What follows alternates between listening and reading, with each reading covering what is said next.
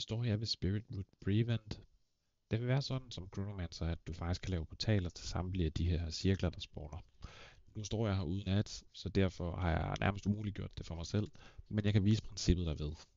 Jeg tager kun de nærmeste øh, markører, som indikerer de her cirkler, fordi jeg kan ikke nå at gøre det til de længste, men har man altså øh, nogle ads med, så kan man bygge sig nogle illusions på, som gør, at ens continuum split holder længere, hvilket gør, at man kan lave nogle af de her skills i længere tid, i stedet for at det skal afvikles inden for kort tid. Som Chronomancer, så vil jeg kunne øh, bruge min continuum split, portal og blink, og portal igen, og så slukke min continuum split, for faktisk at sætte det hele på off cooldown en gang til. Og det vil se nogenlunde sådan her ud. Hvis jeg gerne vil lave en portal fra omkring pilen over til cirkel, så vil jeg blinke afsted, placere den hurtigt, og så er den åben. Som man ser, er min skills ikke på cooldown. Jeg kan benytte den, gruppen kan benytte den. Jeg placerer en ny. Jeg har nu to valgmuligheder. Hvis ikke jeg stod i midten, og det var langt væk, så havde jeg kunnet lave Mimic Blink Blink, så jeg kom langt afsted og placere min portal. Jeg kan også vælge at blinke afsted, og så bruge min Mimic og portal. Så har jeg igen en portal.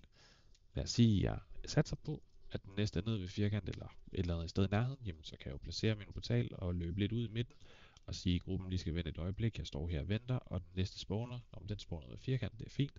Jeg løber derned, placerer den, og de benytter den.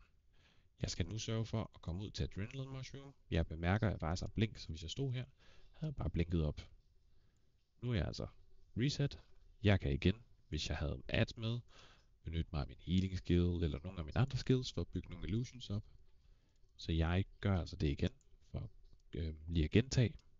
Jeg bruger min Continuum Split, Portal, Blink, Portal, og så udløber min Continuum Split. Så således vil det være sat op. Bruger portalen, jeg står det nye sted. Jeg vil normalvis bruge min portal.